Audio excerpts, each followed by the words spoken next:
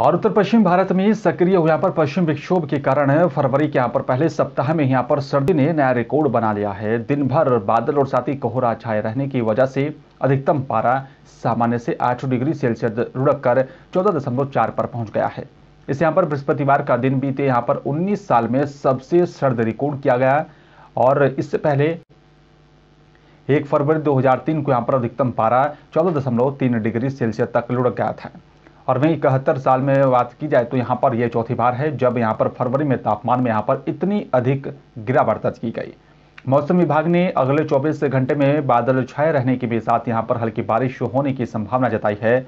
मौसम विभाग के वरिष्ठ वैज्ञानिक राजेंद्र जेनामणि ने उनके मुताबिक पश्चिम विक्षोभ के यहाँ पर सक्रियता की वजह से बादल छाए रहेंगे और कहीं पर हल्की बारिश तो कहीं पर तेज हवाओं के साथ बारिश होने की संभावना है।